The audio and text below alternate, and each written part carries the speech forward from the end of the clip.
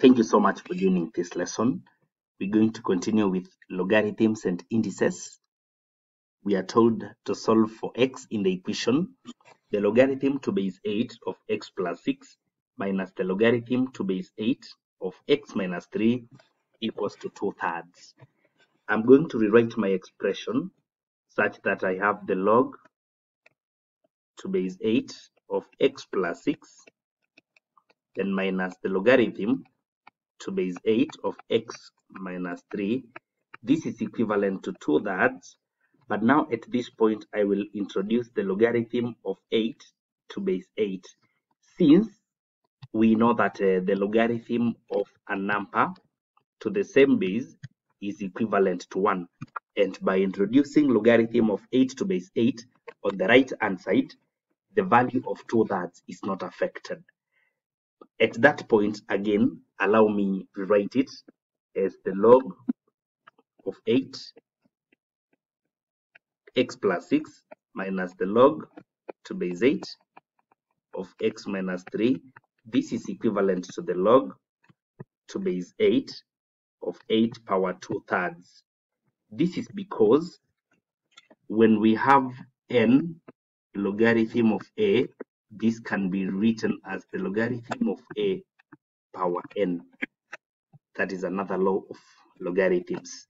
At this point now, allow me introduce some indices whereby 8 power 2 that we can apply the fractional law of indices, which says when we have a power, a fractional index like m over n, this can be solved by taking the nth root of a, then we raise everything to power m. And at that point, we can say that uh, we'll need 8.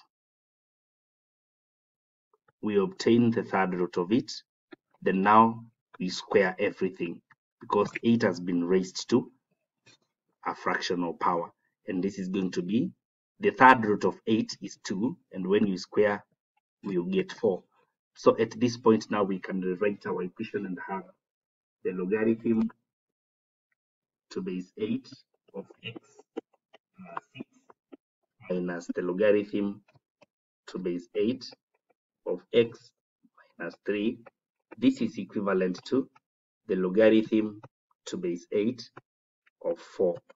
So at that point we will have a 4. And with this now, we can go to the laws of logarithms now. The second law of logarithm, which says that uh, when there is a subtraction, we can just divide the numbers. So we will just have x plus 6 divided by x minus 3. And this is equivalent to the logarithm of 4 to base 8. This is because of the second law which says the log of a number minus the log of another one. As long as the base is the same, this can be written as log of A out of B. Yeah, the log of A out of B. So that is what I have applied. So at this point now, I'll be having the logarithm. Uh, okay, because we cannot perform this division, allow me now drop all the logarithms and I equate the two sides now. x plus 6 out of x minus 3 is equivalent to 4.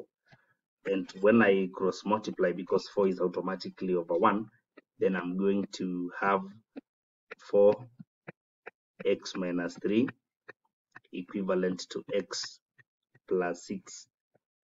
4x minus 12 is equivalent to x positive 6. And when we group like terms, 4x and x will become 3x equals to negative 12 now becomes positive on the other side. So 6 plus 12 becoming 18. So that the value of x is equivalent to 18 out of 3, which is equal to 6. So thank you so much for following, subscribe and share.